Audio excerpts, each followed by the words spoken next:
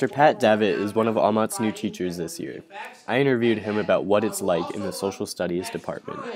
Obviously, when I started, I was a little nervous considering that I was dealing with uh, Mr. Woolsey and Ms. Graff, uh, you know, decades of history experience, but uh, I've really learned that they are a, a, valuable asset and tool for me to have.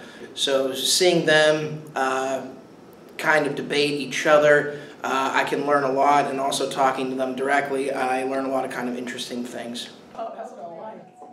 Though eager to learn from the more experienced teachers in the department, Mr. Davitt feels he has a fresh perspective to bring to teaching social studies. For me, my specialty and what I really enjoy teaching is a lot of aspects of United States history. I also like looking at very uh, modern and current events. Uh, I think the goal for both classes, uh, world history, U.S. history, as well as IB history, uh, is to get as close to the modern as we can. So taking a look at that, um, I think will be something that is very applicable to the lives of all these students. I'm Owen Egger, reporting for The Lance.